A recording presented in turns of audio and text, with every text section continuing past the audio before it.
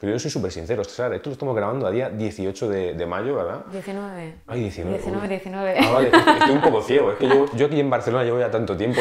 Esto es de forzar tanto la vista Ya no con, veo, no con sé- no tantas ni- pantallas, tanto Sí, trabajar. sí, estoy ya loco perdido. Pues es 19 eh, y esta semana creo que fue el día 15, fue el lunes cuando salió esta, Creo que sí. esta noticia de la OMS de que, que sí. la OMS eh, desaconseja los edulcorantes para la pérdida de peso. Luego Sí. también. Te voy a preguntar ya directamente, ¿qué opinas sobre esta noticia? Imagino que la has seguido y la has visto. Sí, no me he metido mucho a ver porque tampoco han descubierto América. Mm. Eh, entonces ya los nutricionistas, yo creo que, no Claro. hablaré por todos, pero la mayor parte eh, desaconsejamos el uso de edulcorantes. Primero, porque el hacer un consumo excesivo, siempre hablaremos de consumo excesivo, obviamente, que por consumir Claro. de vez en cuando no nos vamos a morir. Pero eh, haciendo un consumo excesivo, aparte de que no estás eh, educando el paladar, ¿no? Lo estás, Claro, digamos, mal acostumbrando, ¿no? Le estás dando un sabor muy, muy, muy dulce y artificial y luego lo que te va a pedir es, ¿no? Pues las El cosas cuerpo que te, tengan... te sigue pidiendo muchísimo sabor, sabor. dulce y claro. Exacto, y aparte porque ya se sabe, ¿no? Lo, lo- lo poco que, que le gusta a la flora intestinal los edulcorantes.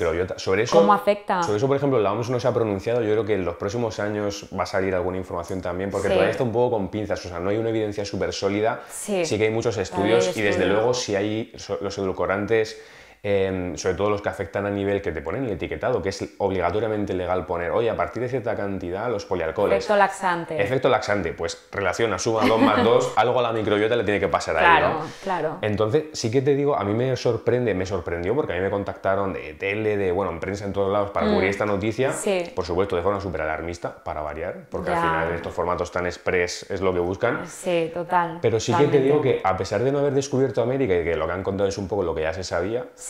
Eh, a mí me ha sorprendido que sí que hay un apartado que hacen referencia, que creo que hasta ahora una entidad eu- euro, bueno, no es europea la OMS, es mundial, pero una entidad de potente había dicho que es que el consumo prolongado a largo plazo para personas que no son diabéticas les pueden predisponer a sufrir diabetes, enfermedades cardiovasculares y creo que también hablan de aumento de la mortalidad. Y eso aparece en la información de la OMS, que fue- a mí fue lo que me sorprendió y dije, Sí, la verdad "Ostras", es digo, que- ¿esto lo ha dicho la OMS? O sea, realmente está como muy... Sí, sí, sí, sí. Claro, y es en plan, oye, que al final la- la- el mensaje que se queda a la gente es, oye, pues ahora otra vez, ahora es malo, lo que antes era bueno, ahora es malo, y es al final ciencia, Sí. la cosa va cambiando y hay que Sí. actualizarse. Y yo creo que todo esto está saliendo ahora porque cada vez más, eh, con, con lo que hablábamos, ¿no? Del ajo de las redes, que si la vida fit, recetas, todo el mundo le mete todo sin azúcar, el azúcar también malísimo, nos pasamos ahora al otro extremo y me hincho a polialcoholes.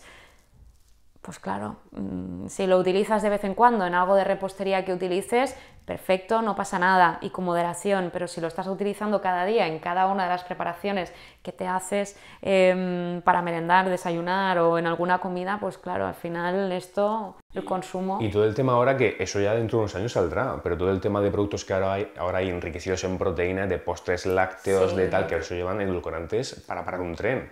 Exacto. Eh, también esa Sí. tendencia del enriquecido en proteína, alto en proteína, eh, sí. eso dentro de unos años también se verá como, Ah. al final, aunque los edulcorantes pueden tener cierto sentido, pienso yo, ¿no? Y a lo mejor yo creo que también en consulta seguramente para pasar de consumir mucho azúcar, ¿no? Exacto, puede ser una, es una estrategia útil, Claro. de hecho, o para perder peso, dices, pues en vez de azúcar, le puedes poner un poquito de, de edulcorante Sí. si es necesario. Mm. Aunque siempre lo que intentamos, lo que intento es que la persona mm, se acostumbre al sabor natural de los alimentos y reeduquemos ese paladar, ¿vale? Pero bueno, un poquito con moderación. Claro, pero pues si a no ti te pasa viene un paciente que toma todos los días su vaso Claro. de colacao, 300 galletas, no puede pasar de 100 a 0, ¿no? De Exacto, golpe. exacto. O, o en el caso de personas que igual están acostumbrados a ponerle al café cinco pastillas de sacarina. Pues entonces, obviamente, no se las vas a quitar de golpe, pero al menos sí de manera gradual les pongo como objetivo, pues de aquí a la semana que viene intenta reducir una, eh, en dos semanas reduce otras dos, ¿no? Y así hasta que la persona ya poco a poco se va adaptando y, y se nota un cambio Claro. increíble. Y viene muy bien que hayas dicho lo de los yogures, que cada vez más todo enriquecido en, en proteína,